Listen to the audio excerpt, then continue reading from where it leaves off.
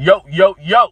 You know who this is? D.Arthur. Um so Kobe Bryant, the great Kobe Bryant, the late Kobe Bryant has died and passed away along with uh his daughter and and other people who were on the plane. Um when I first heard the news, um I I thought it was a hoax. I thought it was uh one of those uh fake rumors and but then I realized when I searched it up again that everybody was reporting the same thing.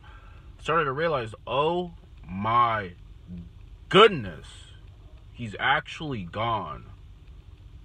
A day after uh, LeBron passed him on the all-time scoring all-time scoring list, he actually passed away, and this did something to my soul. It did something to my heart it made me realize that even when you when you get up when you're when you get up to go to work in the morning or whatever you may do whenever you do that you coming back home is not promised.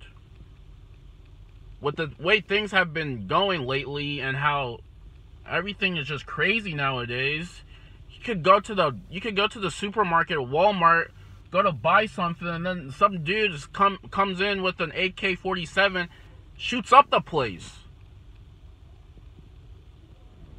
This world, nothing in this world is guaranteed.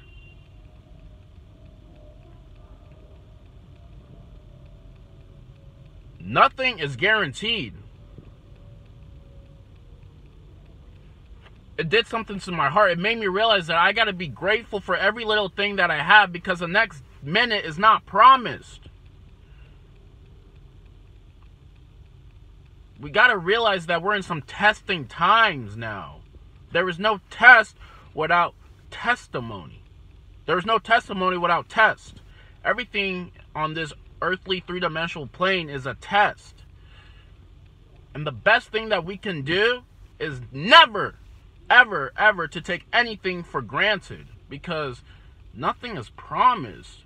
Kobe Bryant, the great Kobe Bryant, everyone looked up to Kobe Bryant. He left a mark on the world. Now he's gone. It was routine.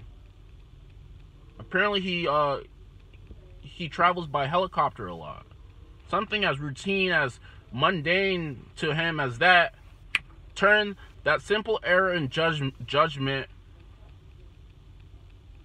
destroyed everything that was uh, was worked for. And now his legacy lives on, but this just made me realize that I have to be one I have to be grateful for every single thing. I can't leave anything up to chance and I have to direct my path because tomorrow may not be promised. So there is no point into living a life that you're not proud of. There's no point living in fear. There's no point living in depression. There's no point living in misery and there's no point. At this time, at this time, it's now or never. Whatever has been on your mind recently, whatever has been on your mind lately, you have to take some sort of initiative and do something about it because the next your next breath is not promised.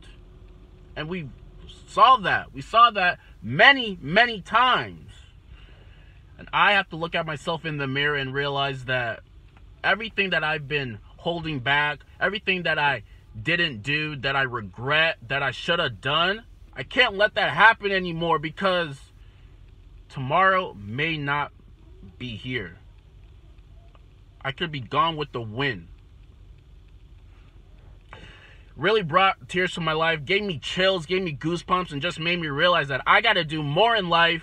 You got to do more in life. We all got to do more in life because your next breath may be your last. Signing out.